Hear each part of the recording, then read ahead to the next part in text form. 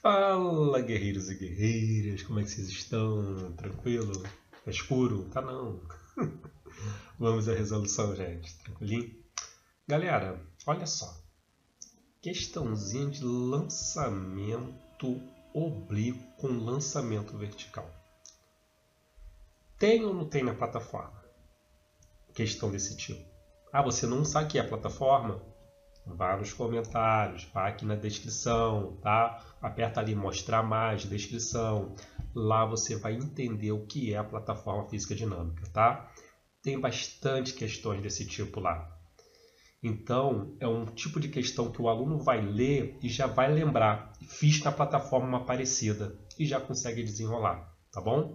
Olha só, bem calmo, bem devagar para você entender todo o passo a passo. Em uma feira estudantil de ciências, ocorreu uma competição de lançamento de foguetes construídos com garrafas plásticas de refrigerante impulsionado com água e ar comprimido, tá? Então botou ali ar comprimido, água, puf, ou seja, mudou aqui a bola pelo foguete, tá bom? De garrafa plástica. Em um lançamento oblíquo com um ângulo que proporciona um maior alcance. Aqui você tem que saber a teoria, tá?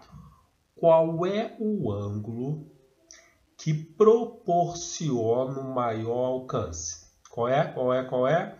Eu sei que você respondeu 45 graus, tá? Este é o ângulo que no lançamento oblíquo, usando sempre essa mesma velocidade, ele consegue o maior alcance possível. É quando ele é lançado com um ângulo de 45 graus. Então já sei qual é o ângulo, 45 graus. A equipe vencedora conseguirá atingir a distância de 180 metros em 6 segundos.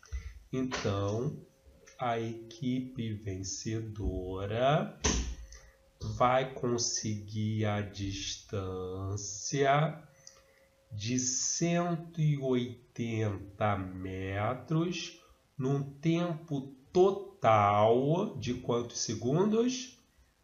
Um tempo total de 6 segundos, tá? Em 6 segundos ela vai conseguir esse alcance quando ela é lançada com essa velocidade inicial aqui. Beleza? Assinale a alternativa que preenche corretamente a frase a seguir. Agora vamos ver qual é a frase. Esse foguete foi lançado verticalmente com o valor do modo da velocidade do lançamento idêntico ao do lançamento oblíquo e atingirá uma altura de... Bom, nessa frase ele já fala sobre lançamento vertical. Mas nesse lançamento vertical ele usa a mesma velocidade do lançamento oblíquo. Então o que você tem que descobrir? Que velocidade é essa daqui? Tá? Que velocidade é essa? Então vamos lá? Mandou desprezar o atrito e considerar g igual a 10 metros segundo ao quadrado. Vamos descobrir que velocidade é aquela? Bom, eu tenho alcance e tenho tempo. Com o alcance e com o tempo, eu consigo descobrir o Vx. Porque ó, alcance é Vx vezes esse tempo total. Tá? O alcance ele me deu 180.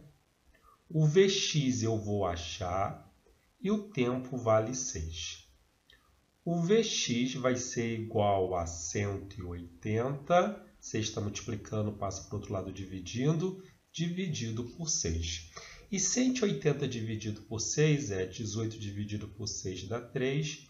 30 metros por segundo. Essa é a velocidade inicial aqui? Não, ele é o Vx. Mas o que é Vx? Com Vx eu consigo descobrir o V0? Consegue parar. Por quê? Porque Vx é igual ao V0 vezes o cosseno de 45. Tá? Essa é a forma para você descobrir o Vx. Só que eu tenho Vx, vale 30. Eu não tenho V0, eu quero descobrir. E o cosseno de 45, a gente já tem que saber, né? Raiz de 2 sobre 2. Esse 2 passa para cá multiplicando, então vai ficar 60 igual 60 igual, deixa eu apagar aqui, que deu uma rabiscadinha. 60 igual a V0 vezes raiz de 2. Vou pegar o raiz de 2 que está multiplicando e passar para lá dividindo.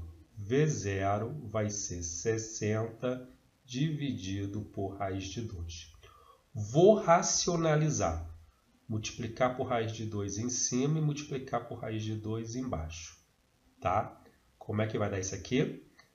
Vai ser igual a 60 raiz de 2 sobre raiz de 4, que dá 2. Isso vai dar 30 raiz de 2 metros por segundo. Eu fiz a conta aqui para descobrir esse V0, mas se você reparar, a gente tem aqui a hipotenusa, esse V0 ele funciona como se fosse a diagonal de um quadrado, tá? Porque o ângulo é de 45. Então, quanto que dá a diagonal de um quadrado? É o valor do lado vezes raiz de 2, ou seja, 30 raiz de 2.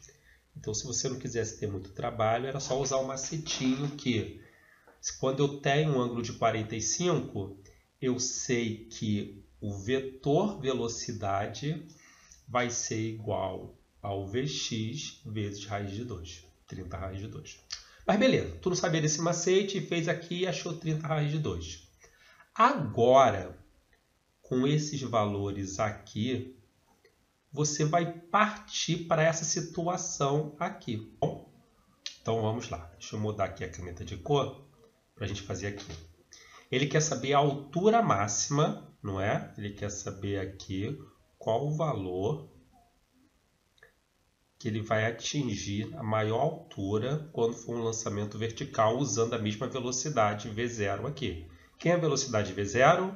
É esse 30 raiz de 2 que nós achamos aqui. Bom, então agora eu vou ter esse mesmo foguete, tá? Sendo lançado verticalmente e quando ele atingir a altura máxima, a gente sabe que essa velocidade final vale zero. A velocidade inicial nós temos 30 raiz de 2 metros por segundo. Ele não deu tempo, ele quer altura. Qual fórmula que vem na tua cabeça? Não deu tempo, não pediu tempo, não perca tempo. Use Torricelli. Então, V ao quadrado, V inicial ao quadrado, mais duas vezes a aceleração da gravidade vezes a altura. Tá? Eu sei que tem a fórmula direta, mas vou fazer de conta que você não sabe a fórmula direta e você usou Torricelli na forma básica dele. Velocidade ao quadrado final vai dar zero ao quadrado. A velocidade inicial vai ser 30 raiz de 2 ao quadrado menos, tá? 2 vezes 10, porque esse menos parar, porque é um lançamento vertical, então a aceleração é estar com o sinal contrário, retardando o movimento, e essa é a altura máxima que a gente quer descobrir.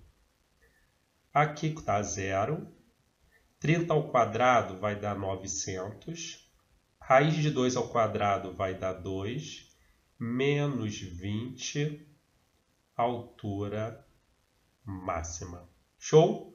Vou passar a altura máxima para o outro lado, vai ficar 20 Hmax igual a 1.800, 2 vezes 900.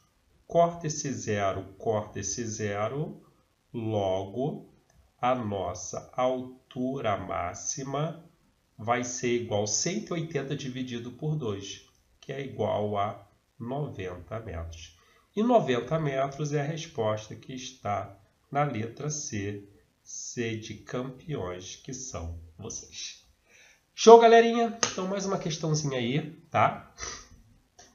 Para você estudar pela plataforma, você que está na plataforma, você que não está na plataforma e conseguiu ver essa questão ou no TikTok, ou no Instagram, ou no YouTube.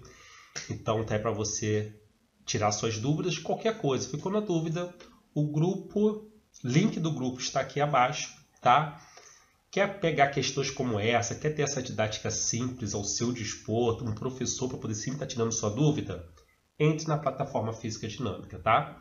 Descubra aí como aprender física de forma simples e fácil, sem complicação, tá bom? Só não esqueça nunca, tá? Independente de onde você estiver, na plataforma ou não plataforma, no YouTube, Instagram, Telegram, TikTok, não esqueça, eu estou com você até o final da sua preparação.